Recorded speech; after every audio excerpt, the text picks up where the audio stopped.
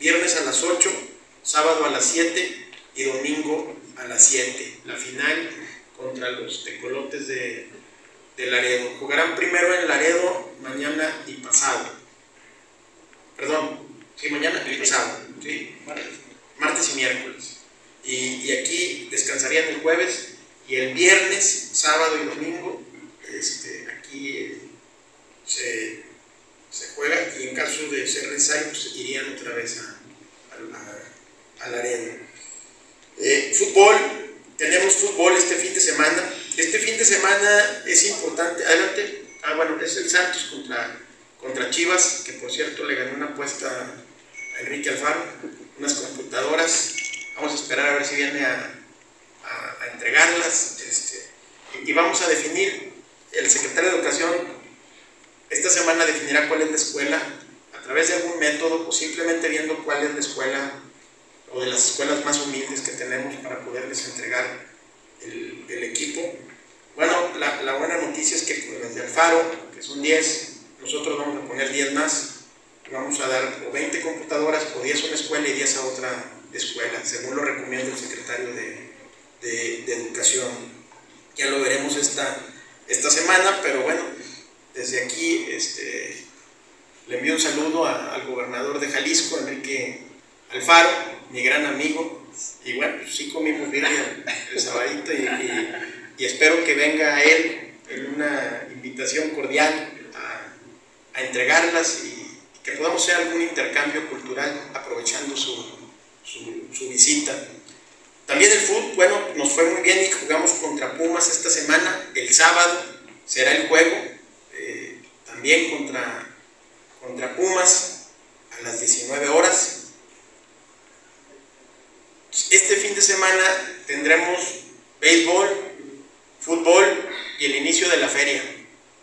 Entonces, lo cual provocó que nos pusiéramos de acuerdo para, para poder este, también mantener la vigilancia y la seguridad de todos los eventos que tenemos, al igual que planear la vigilancia aérea para, para los mismos. ¿no? El helicóptero estuvo trabajando con, los eventos que tuvimos y, de esta forma también lo vamos a hacer esta, esta semana, dejarlo aquí para que, para que pueda apoyar a, a las policías, al mando especial, al ejército y a la guardia y, y, a las municipales también con la, con la vigilancia para dividirnos el territorio y dividirnos también la vigilancia de, de los distintos, de los distintos eventos. De la vigilancia, para eso nos, sirve, nos sirven estas, estas reuniones de, coordinación, para que eh, tengamos entre todas las dependencias y los órdenes de gobierno eh, la atención en cada, en cada evento que de alguna forma alterará el, el orden público y que, y que eh, tiene que ver con la presencia de, de muchísima gente y y el control que debe tener la, la autoridad en, en ello. Comentando que por la mañana arrancamos el ciclo escolar 2023-2024 con la presencia de las dirigencias sindicales, la quinta, la 38 y la 35, con maestras y maestros representativos de la, de la región y, y de manera simbólica en todo en todo el estado.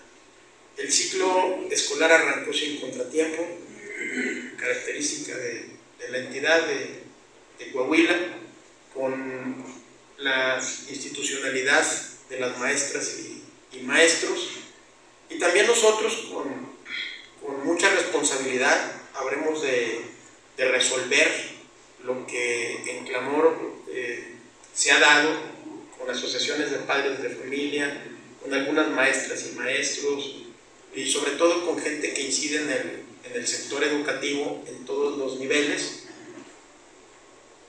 para poder resolver esta problemática de los libros de, de texto, que, que, repito, no, iniciamos nosotros, ni teníamos ganas de, hacer polémica con, un tema que no se debe politizar, así lo entendemos. Por eso habremos de resolver.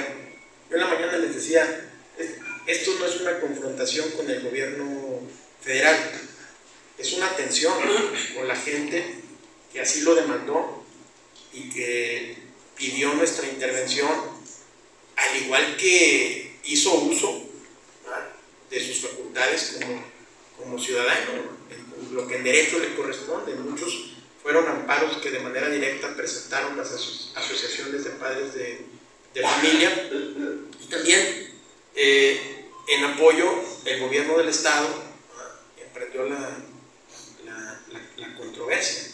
Y en ese sentido, pues tenemos que, tenemos que resolver lo que ya comentó el secretario de Educación, que ya comentó Saracho, que nuestras maestras y maestros están preparados, que, el plan educativo, el plan escolar, eh, los libros son una herramienta, pero el plan ya, ya está diseñado con anterioridad y los maestros están capacitados para, para poder llevar a cabo el, el programa.